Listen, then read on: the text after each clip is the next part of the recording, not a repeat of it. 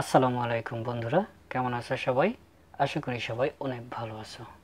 বন্ধুরা, আজকে আমরা অষ্টম শ্রেণি অনুশীলনী এক প্যাটার্ন অধ্যায়ের সংখ্যাকে দুইটি বর্গের সমষ্টি রূপে প্রকাশ করা নিয়ে আমরা আলোচনা করব। সংখ্যাকে দুইটি বর্গের সমষ্টি রূপে প্রকাশ করো। কিছু সংখ্যা রয়েছে যেগুলোকে দুইটি সংখ্যার বর্গের সমষ্টি রূপে প্রকাশ করা যায়। যেমন দুই সমান সমান আমরা লিখতে পারি এক স্কোয়ার যোগ এক স্কোয়ার। তার মানে দুইটি সংখ্যার বর্গের সমষ্টি রূপে প্রকাশ। মানে এক একটি সংখ্যা, এক অপর একটি সংখ্যা। এক এই সংখ্যার বর্গ যোগ এই সংখ্যার বর্গ। তাহলে দুইটি সংখ্যার বর্গের সমষ্টি হচ্ছে দুই। ঠিক আছে? অনুরূপভাবে পাঁচ সমান সমান এক স্কোয়ার যোগ দুই স্কোয়ার। এক হচ্ছে একটি সংখ্যা তাহলে এক এই সংখ্যার বর্গ যোগ দুই একটি সংখ্যা, দুই এই সংখ্যার বর্গ। তাহলে এই দুইটি সংখ্যার বর্গের সমষ্টি হচ্ছে পাঁচ। ঠিক আছে? অনুরূপভাবে আট সমান সমান দুই স্কোয়ার যোগ দুই স্কোয়ার।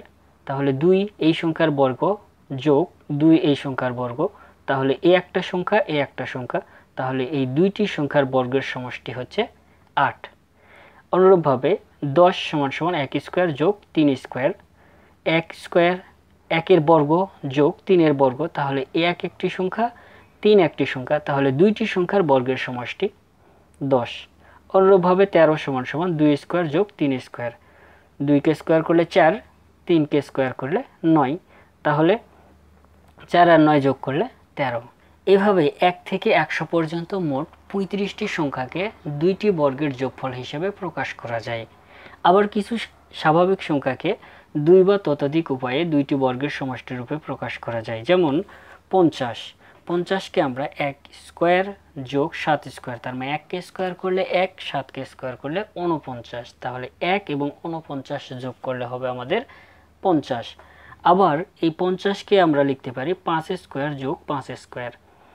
পাঁচের বর্গ পঁচিশ যোগ পাঁচের বর্গ পঁচিশ। তাহলে পঁচিশ এবং পঁচিশ যোগ করলে পঞ্চাশ। পাঁচ এখানে একটি সংখ্যা, পাঁচ এখানে অপর একটি সংখ্যা।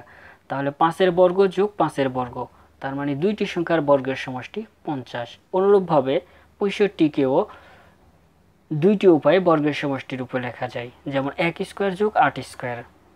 একের বর্গ হচ্ছে এক, আটের বর্গ হচ্ছে চৌষট্টি। তাহলে চৌষট্টি এবং এক যোগ করলে পঁয়ষট্টি হচ্ছে। অনুরূপভাবে চার স্কোয়ার যোগ সাত স্কোয়ার হিসাব করেও আমরা পঁয়ষট্টি লিখতে পারি। চারকে স্কোয়ার করলে ষোলো সাতকে স্কোয়ার করলে উনপঞ্চাশ ষোলো আর উনপঞ্চাশ যোগ করলে হবে পঁয়ষট্টি। পাঠ্য বইয়ে কাজ আছে। এক নাম্বার, একশো তিরিশ একশো তিরিশ, একশো সত্তর এবং একশো পঁচাশি। এই তিনটি সংখ্যাকে দুইভাবে দুইটি বর্গের সমষ্টি রূপে প্রকাশ করো। তাহলে একশো তিরিশকে দুইভাবে দুইটি বর্গের সমষ্টি রূপে প্রকাশ করতে হবে। একটা হচ্ছে লিখেছি এখানে তিন স্কোয়ার যোগ এগারো স্কোয়ার। তিন একটি সংখ্যা, এগারো অপর একটি সংখ্যা। তাহলে তিনের বর্গ তিন স্কোয়ার যোগ এগারোর বর্গ এগারো স্কোয়ার। তিনকে বর্গ করলে হবে নয়, এগারোকে বর্গ করলে হবে একশো একুশ। তাহলে দুইটি বর্গের সমষ্টি হবে একশো তিরিশ। অন্যভাবে করা যায়, সেটা হচ্ছে বলছে আমাদের ওখানে কাজ যে দুইভাবে দুইটি বর্গের সমষ্টি রূপে প্রকাশ করো। কাজে এটা একভাবে গেল, এবার আসবে এটা সাত স্কোয়ার যোগ নয় স্কোয়ার। সাতকে বর্গ করলে মানে সাতকে স্কোয়ার করলে হবে উনপঞ্চাশ নয়কে স্কোয়ার করলে হবে সাতকে স্কোয়ার করলে উনপঞ্চাশ যোগ নয়কে স্কোয়ার করলে একাশি। এখানে উনপঞ্চাশ আর একাশি হবে একশো তাহলে একশো আমরা দুইভাবে দুইটি বর্গের সমষ্টি রূপে প্রকাশ করলাম, ঠিক আছে? অনুরূপভাবে একশো সত্তর। একশো সত্তরকে এক স্কোয়ার যোগ তেরো স্কোয়ার। এককে স্কোয়ার করলে এক তেরোকে স্কোয়ার করলে একশো উনসত্তর। তাহলে একশো উনসত্তর আর এক যোগ করলে হবে একশো সত্তর। দুইটি বর্গের সমষ্টি রূপে প্রকাশ। এক একটি সংখ্যা, তেরো অপর একটি সংখ্যা।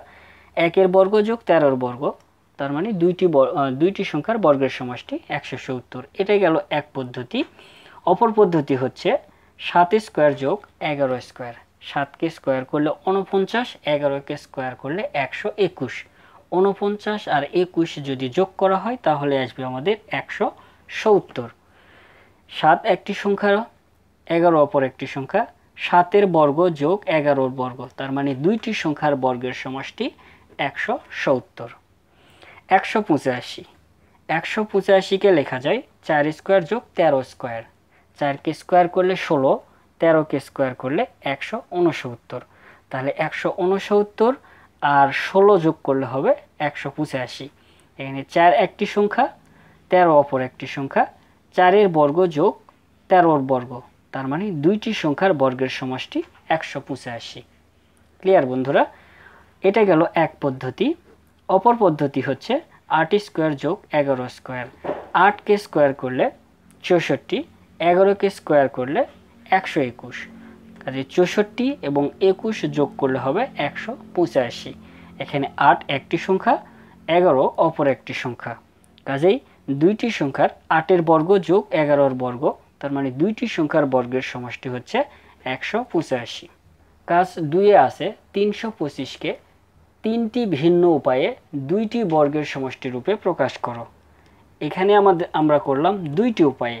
তিনশো পঁচিশকে আমাদের করতে হবে তিনটি উপায়ে। একটি উপায় ফলো করা যাক। এক স্কোয়ার যোগ আঠাশ আঠারো স্কোয়ার এক একটি সংখ্যা, আঠারো অপর একটি সংখ্যা। কাজে এক স্কোয়ার তার মানে একের বর্গ যোগ আঠারো স্কোয়ার আঠারোর বর্গ। কাজে দুইটি সংখ্যার বর্গের সমষ্টি একশো পঁচিশ। এককে স্কোয়ার করলে এক পাবো। আঠারোকে স্কোয়ার করলে আমরা পাবো তিনশো চব্বিশ। তাহলে তিনশো চব্বিশ আর এক যোগ করলে আমরা পাবো তিনশো পঁচিশ। এটাই গেল আমাদের এক পদ্ধতি। ঠিক আছে? অন্য উপায়ে বা অন্য পদ্ধতি হচ্ছে এখানে ছয় স্কোয়ার যোগ সতেরো স্কোয়ার। ছয়কে স্কোয়ার করলে মানে ছয়কে বর্গ করলে ছত্রিশ পাবো। সতেরোকে বর্গ করলে আমরা পাবো দুইশো উননব্বই। তাহলে ছত্রিশ আর দুইশো উননব্বই করলে আমরা পাবো তিনশো পঁচিশ। এখানে ছয় একটি সংখ্যা, সতেরো অপর একটি সংখ্যা। ঠিক আছে? ছয়ের বর্গ যোগ সাতের বর্গ, তার মানে দুইটি সংখ্যার বর্গের সমষ্টি তিনশো পঁচিশ। এটা গেল দ্বিতীয় উপায়। এবার আসি তৃতীয় উপায়ে। দশ স্কোয়ার যোগ পনেরো স্কোয়ার, তার মানে দশের বর্গ যোগ পনেরোর বর্গ। দশকে বর্গ করলে একশো, পনেরোকে বর্গ করলে আমরা পাবো দুইশো পঁচিশ। তাহলে একশো এবং দুইশো পঁচিশ যদি যোগ করি, তাহলে আমরা পাবো তিনশো পঁচিশ। ঠিক আছে? দশ একটি সংখ্যা, পনেরো একটি সংখ্যা। তাহলে দশের বর্গ যোগ পনেরোর বর্গ। তাহলে দুইটি সংখ্যার বর্গের সমষ্টি তিনশো পঁচিশ। ঠিক আছে?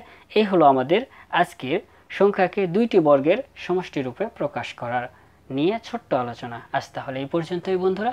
সবাই ভালো থাকবে, সুস্থ থাকবে এই কামনায়। আল্লাহ হাফেজ।